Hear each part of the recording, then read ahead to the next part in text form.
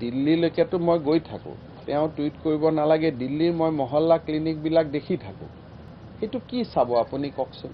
আমাৰ ইয়াত medical college Guwahati medical college চোৱাৰ পিছত আপুনি দিল্লীৰ মহল্লা ক্লিনিক চাই কি পাব? ছেকেণ্ড কথা দিল্লীত স্কুল হৈছে বাৰশ। অসমত স্কুল হৈছে ষাঠি সত্তৰ হাজাৰ। গতিকে এইটো কোনো কম্পেৰেবল বস্তুৱে নহয়। তেওঁৰ নামতহে দিল্লীখন ৰাজ্য আচলতে এইখন এখন পৌৰসভা। গতিকে পৌৰসভাৰ ৰাজনীতিৰ লগত ষ্টেটৰ ৰাজনীতিটো নিমিলে। গতিকে তথাপিতো তেওঁ বিচাৰিছে মই কেতিয়াবা মহল্লা ক্লিনিক বা স্কুল চাব যাম।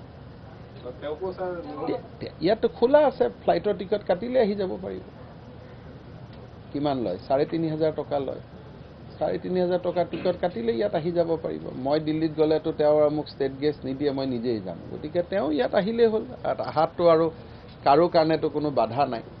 খালি কথাটো হ'ল যে এখন বাৰশ য'ত স্কুল আছে এখন চিটি য'ত চৰ এৰিয়া নাই উত্তৰ কাছাৰ নাই কাৰ্বি আলং নাই আমাৰ আজি টিচাৰে আছে আঢ়ৈ লাখ তেওঁলোকৰ টিচাৰ আছে ছয় সাত হাজাৰ গতিকে এটা অলাগতিয়াল কম্পেৰিজন এটা কৰি থাকে।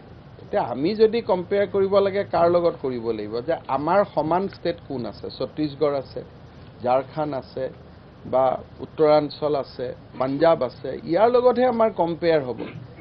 এতিয়া আৰু বাৰশখন স্কুল হ'লেতো মই ডেইলি স্কুল কেইখনত গৈ থাকিলেহেঁতেন ৰাতিপুৱা ব্ৰেকফাষ্ট মাছেদি হ'লহেঁতেন লাঞ্চ মাংসদি হ'লহেঁতেন ডিনাৰ পোলাও দি হ'লহেঁতেন। এইটো এইটো বাৰশখন স্কুল চলোৱাটোনো এটা কি ডাঙৰ কথা?